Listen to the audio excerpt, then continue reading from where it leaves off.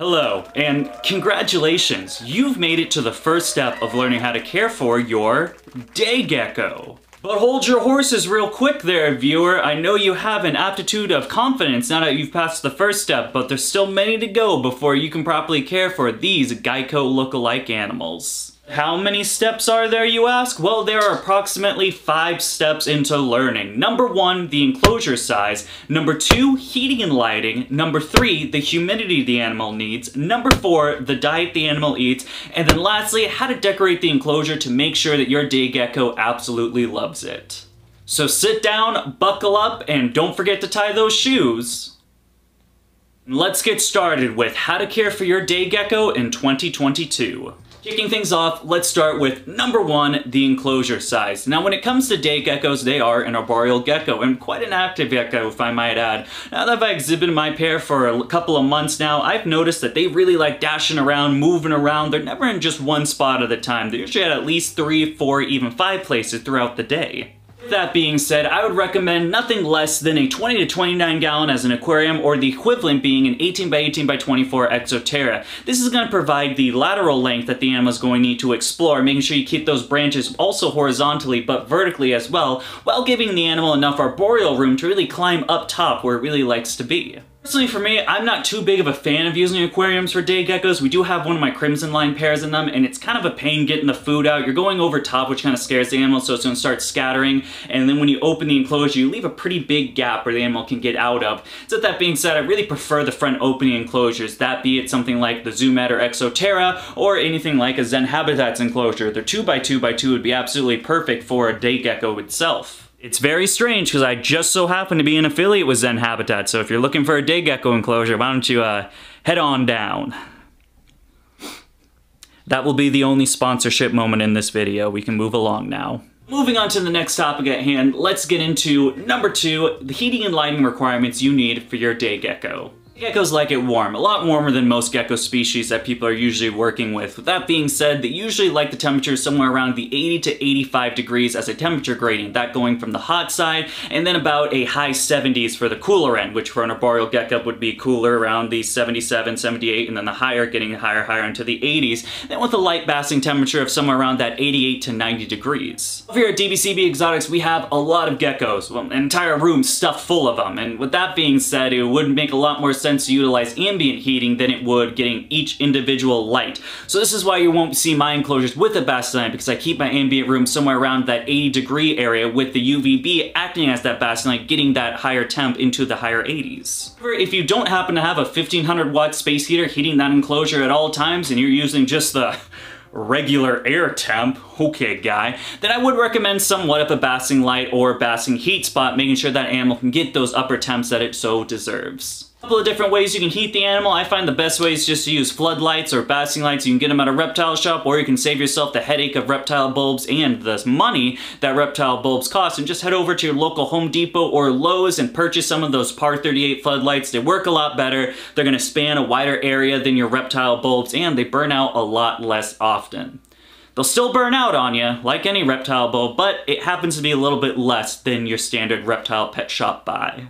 Heating is only one section of this topic. The next section is going to be lighting. Now, uh, far from just getting the PAR 38 floodlight, you're also going to need other lighting. With geckos being a diurnal species, at least I hope because I just said it, they're going to require UVB because they are out during the day basking in the sunlight that not only heats them but also provides them with UVB. With that being said, grabbing a UVB bulb is a must for the day geckos. Not only is it good for them, you're not going to run into any of those things like metabolic bone disease, which is an absolute thing you want to avoid, but also you can see their colors a lot better. I've noticed day geckos under UVB with that green fluorescent, that neon green under that fluorescent light, man, they are just shimmering. They're an absolutely beautiful beautiful species, and it's definitely something worth the, what, 70 bucks, 50, 60 bucks uh, every six months getting that linear T5 bulb and you're good to go, and then you really get to experience the beauty that is the day gecko. For UVBs for day geckos, you really just want to go for the best because the off brands or lesser ones are still like 20, 30, 40 bucks,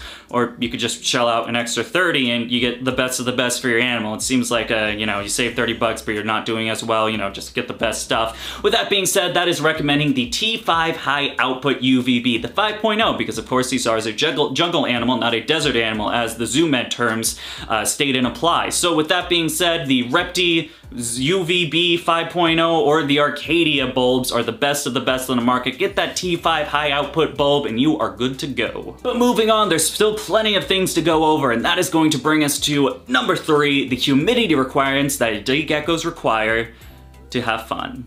I mean, like, it's not just to have fun, it's a necessity too, but I just thought I'd be a little more whimsical with it. Wait till you hear this, boys and girls. This tropical gecko not only likes high heat, but also high humidity. I know, it's a complete shock, but let's get into it. Now, day gecko's humidity requirements are going to be somewhere around the 60 to 80%. Let me explain that, because people are probably like, well, is it 60 or is it 80, Dakotah? Hold your horses, I'm getting to it. Now, when it comes to day gecko humidity, you are going to want to be misting once to twice a day. Now, that humidity is going to spike up when you do that misting, getting that to around that 80%, and then throughout the day, it's going to slowly die off into the 60%, and in which case you just repeat the cycle over and over and over and over for years and years until finally your day gecko has all the humidity it could ever want through its entire lifespan. Welcome to owning reptiles, folks. We think we think we we keep them, but in fact they keep us on a strict regimen and schedule as our enslaved people to have the perfect environment that they require. There are a few ways you can increase the humidity in your day gecko's enclosure. Maybe you went out for the aquarium, not the nice zen habitats, which I mean I guess, but now you're running into the problem of too much ventilation. Your day gecko humidity is off. It's not working for you. Well, don't worry there, viewer. I got a nice little card that's either over there or maybe it's over here. I can never remember where it goes, but that's gonna show you all the humidity ways and techniques to boost that humidity in your enclosure. I'll just give a brief summary for people that already have a bit of a hand for it. It's a deep substrate, misting, misting systems, uh, covering part of the ventilation if you're using aquariums, and so on. That goes a lot more in depth, so if you are a little bit bit unsure, make sure to check that video out. But moving on, we almost have it all figured out on how to care for our day gecko, and that is gonna bring us to number four, the diet requirements that these beautiful, beautiful gecko lizards require. Now, when it comes to the diet, diet requirements, it's probably no surprise to you, it's an insectivore. It's either eating the Repashy or Pangea, or it's eating insects, like pretty much any other gecko. Unless tokay geckos, then in that case, you're feeding your fingers every so often to appease them in order to give you their offspring. Why I decided to become a tokay breeder, I will never know. For day gecko feeding is pretty simple. it's pretty easy. It's pretty much a crested gecko feeding, but you also feed bugs. A little bit more bugs than you would with uh, a crested gecko. These guys actually enjoy the bugs. You don't need them get accustomed to it, or you don't have day geckos that some like bugs, but some don't like bugs. Every single day gecko goes nuts for bugs. It's with that being said that you should utilize a staple of either the Pangea or Repashy. Personally, I like the Pangea, but whatever floats your boat. In there at all times, changing it out every other day to make sure your animal always has fresh food, but also adding crickets at least twice a week to make sure it also has that fun hunting experience and again that variety in the diet. I do believe that insects aren't just a little treat you should be given, but they also should be added as a staple alongside with the Pangea. The Pangea is going to make sure they have all the vitamins and minerals that they're going to need, but then the dusted crickets are also going to provide some extra nutritional requirements, and they're also going to be just a fun thing to watch your gecko run around the whole enclosure and watch him hunt. It's a really fun thing. As far as insects go, it's really just the same as any other feeder, you know, crickets, roaches, whether that be dubia, lobster, red runners. You've got your worms, superworms, and mealworms as a little bit more of a treat. And then you've got like waxworms, phoenix worms. I mean, pr pretty much any bug you usually feed any other lizard. You can also feed the day geckos. I find they like a little more active of a feeder, so I usually use crickets, but whatever floats your boats. Make sure to use the treat feeders less often because of course those higher in fat can lead to medical uh, bad stuff. Yeah, that's the official term for it, Dakotah. Medical bad stuff. All right. And here we are. The last thing you need to need to know to take care of your day gecko. We've come a long way in these past five minutes or so. We've learned the enclosure size. The, please don't mind the bird. Heating and lighting, the humidity, and then finally the diet. But now getting into the last thing at hand, let's get into it. Number five, how to decorate your enclosure to make sure your animal is going to be happy and healthy. Now, if it wasn't clear enough in all the other steps we talked about, these animals are tropical animals, and with that being said, they come from a place that has, wait for it, Trees. I know, an arboreal animal sitting on trees. Absolutely ridiculous, but let's get into it. These animals like to bask on trees and branches and things of that nature. You should be utilizing it within captivity. That being said, you're gonna wanna offer a lot of vertical and horizontal perches, going in each and every way, making sure your lizard can climb up, go around, lay on branches, climb up onto branches, and not just be sticking on the glass. Now, one of the bad things with most gecko species is when you're not utilizing enough branches or areas for him to horizontally climb on, they're gonna to utilize the glass and usually stay vertically. And when an animal stays vertically for too long, their tail starts to flop over, becoming what is commonly known as floppy tail syndrome, or FTS. An easy way to avoid that is just use horizontal perches.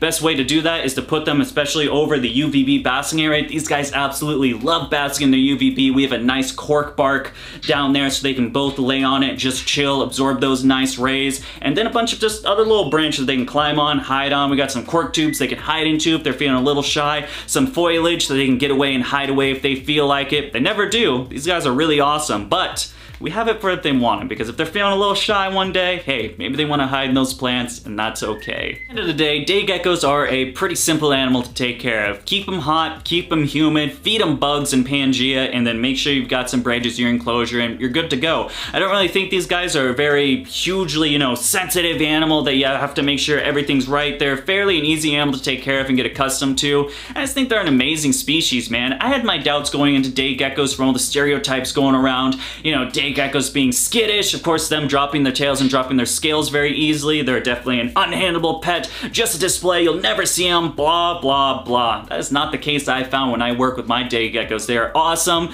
They are very, um, what's the word? They're, they're inquisitive. They really like to watch me, but not like watch and run away. Like just observe me, watch me. Whenever I move the food and put the food in, they're not running around, they're just watching. I give them little chin scratches, I can hand feed them little worms when it's the time for the treat, and all in all, I just think they're an amazing gecko that definitely more people should own. Well folks, that is gonna do it for today. How to care for your day gecko in 2022. It's like any other care guide out there, however, I put some uh, comedy relief if you didn't notice, and it's also 2022, so that makes it a better care guide than the other ones. Now it's your turn. Leave me a comment in the comment section on what you think about this care guide. Did I knock it out of the park, or was it just, uh, was the comedy really just cringy and not not funny at all? I really need to know this, guys. You guys need to put me in my place. If it's getting too cringy, you gotta let me know. If you're actually interested in getting some day geckos, we breed day geckos. We've got quite a few babies going on right now. They're gonna be launching on our Morph Market. Before they go on Morph Market, of course, they're going to go on my Patreon, patreon.com slash dbcbexotics. If you're looking to get the first-hand look at our day gecko babies and potentially purchase them before I let them out for the public, make sure to head down there at the link in the description below and join today. Well, folks, I guess it's my time to leave. We've had a lot of fun here today, but hey, if you want to see some more stuff, there's some videos right there. Um, I'm gonna go back to where I usually belong, and that's acting like a lizard next to all my lizards. So no more, no more bipedalism for Dakotah. It's just on all fours. Thank you and goodbye.